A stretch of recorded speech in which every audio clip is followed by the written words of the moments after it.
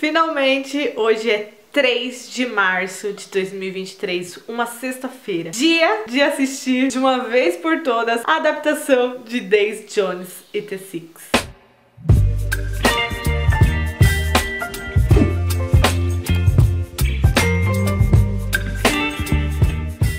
Primeiramente, eu vou dividir um detalhe sórdido com vocês, né? Que eu vou negligenciar a minha vida hoje, a minha casa, que tá uma zorra. Pra o quê? Pra assistir Days Jones e The Six. E eu sei que talvez você esteja cansado de ver todo mundo aqui no YouTube falando sobre esse assunto. Mas, gente, é Days Jones e The Six. É a série, a tão esperada série da adaptação desse livro. E, cara, eu já tô nervosa antes de começar. Então, esse vlog é um vlog onde vocês vão ver aí a minha reação perante a série e iremos discutir aí algumas diferenças, né, que está tendo ou não do livro para a série. Então, gente, quem não leu o livro, quem não viu a série, quem não quer pegar spoiler, não sei se esse é o vídeo ideal para você, mas se por acaso spoiler para você não é um problema, fica aqui comigo nesse vídeo. Eu sei que tá todo mundo falando disso e eu não sei quando esse vídeo vai ao ar, porque eu vou me permitir assistir um episódio só nesse momento e depois eu tenho que tocar a vida. e eu não sei como que vai ser, quando que vai ser, o que que eu vou fazer para assistir o restante da série. Então me acompanhe aí nesse vlog, vamos descobrir juntos no que tudo isso vai dar. A minha TV, ela é uma Smart bem antiga. No caso, ela não pega os aplicativos novos. Meu software, ele já não atualiza mais. Para eu assistir a Prime, a Disney, qualquer outro aplicativo que não seja a Netflix, eu tenho que colocar o meu notebook aqui no cabo USB. É, USB não. HDMI. Então já tá tudo conectado. E bora lá, vou fechar a janela aqui, senão, né, não vai ter condições de ver nada. E vamos assistir!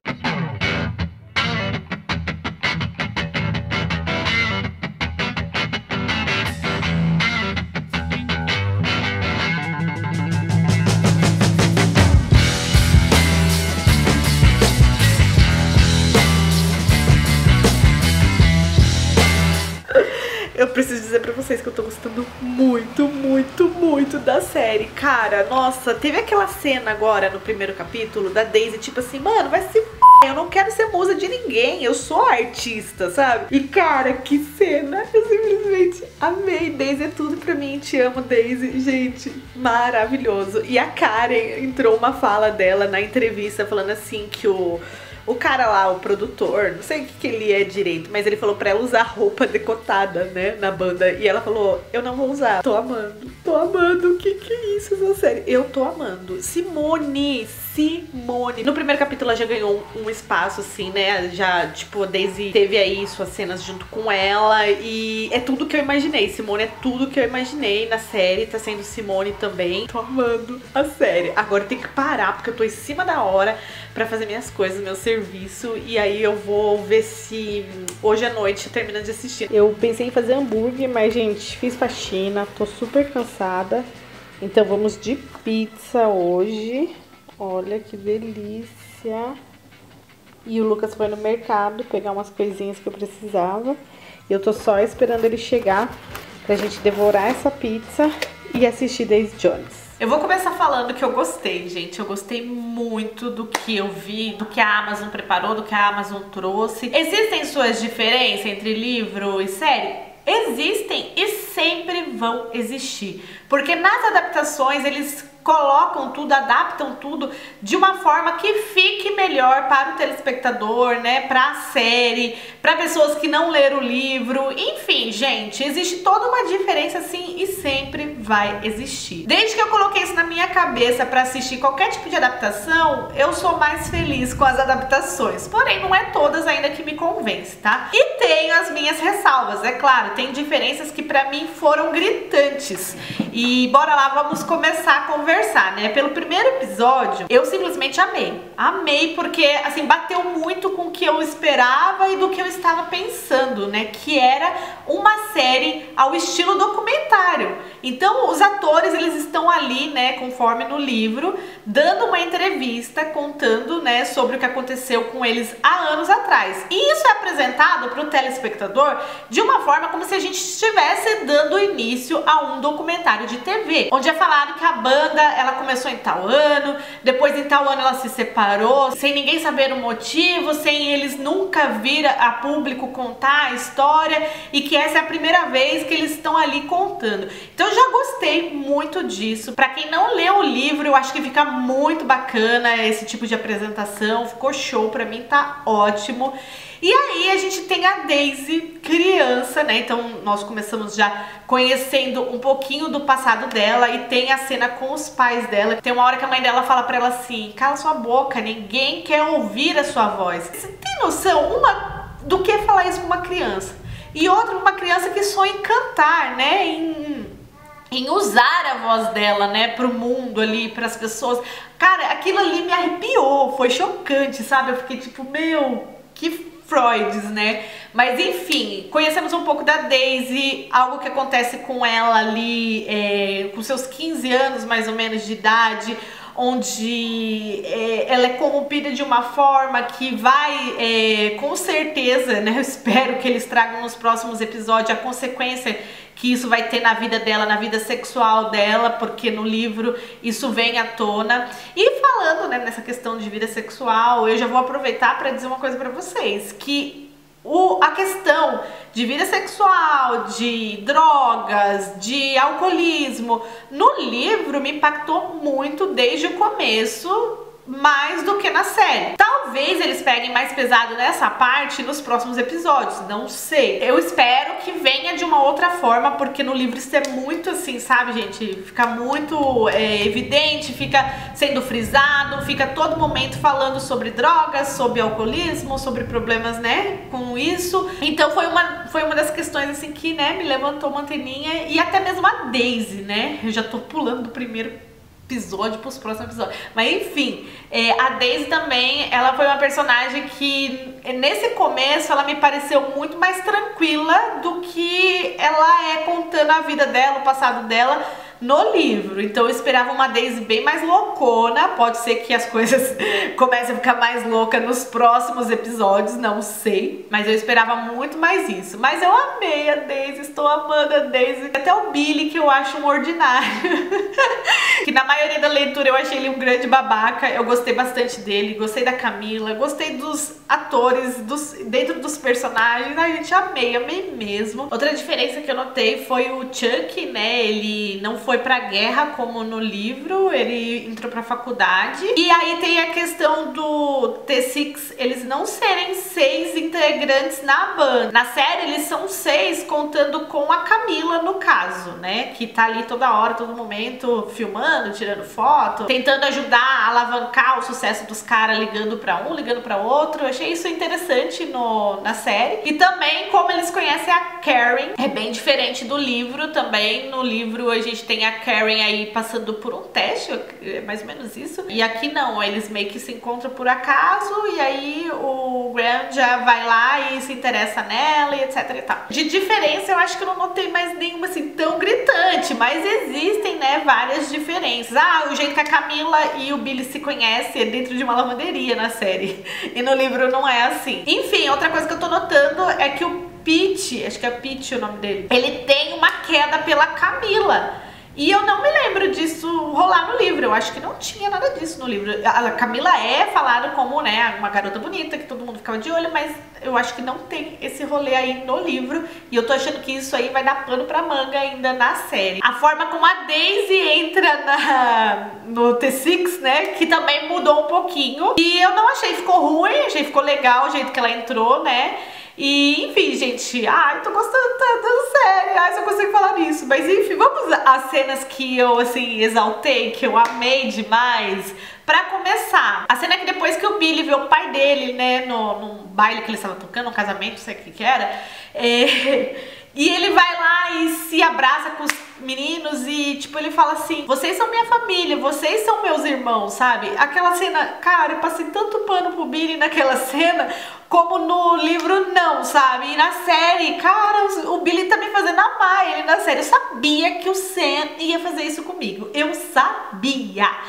Enfim, né? Tô passando pano total pro Billy da série. E aí, essa cena foi essa cena foi uma das minhas assim queridinhas que eu gostei bastante. Tô gostando muito da relação da Simone e da Daisy conforme ela está sendo colocada na série, porque eu senti que no livro, por mais que existe essa relação, não se aprofundou tanto e eu gostei do jeito que ela foi explorada na série, apesar de a gente saber que a Simone, ela vai pular fora por um tempo, né? Ela não vai aparecer por um tempo porque ela vai estar em Nova York. Pegando esse gancho aí, deixa eu mudar de assunto com vocês agora, porque eu preciso pegar o gancho senão eu esqueço.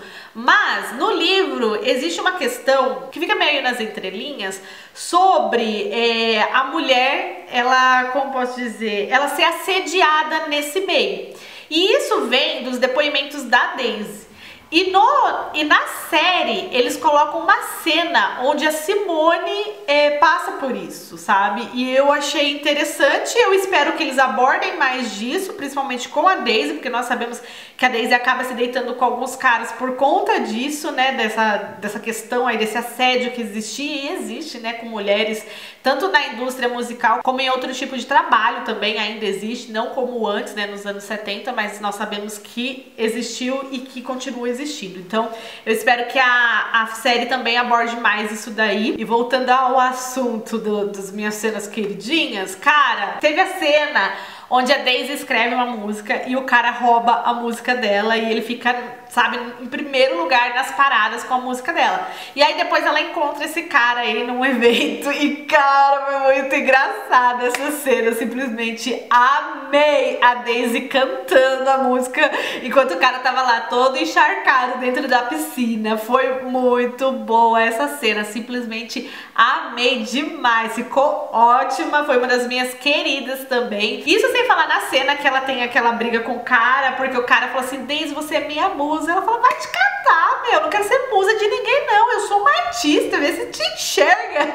E, gente, a Daisy é tudo. E na série eu tô gostando bastante dessa Daisy, mas esperando ainda mais, viu? Espero muito mais dessa Daisy ainda. Não sei, né, se as minhas expectativas serão atendidas, mas apesar de estar gostando de tudo, eu ainda espero um pouco mais da série, principalmente porque eu sei que tem uma pegada aí mais pauleira, né, em vários assuntos que já estão sendo abordados ali. Estou amando o Ted, o Ted é o produtor deles ali, estou amando, simplesmente amando também, sabe? O cara, ele é muito, tipo meu, muito paisão mesmo. Nós sabemos, né, o que acontece com o Ted durante é, a leitura, então eu sei que eu vou sofrer, vou ficar chocada, vou provavelmente derramar algumas lágrimas quando isso acontecer. E eu acho que vai ser algo emocionante, assim, eu espero, por favor, Amazon, não me decepcione. Já rolou também, né, a, a gravidez da Camila, o casamento, a gestação, a relação dela e do Billy com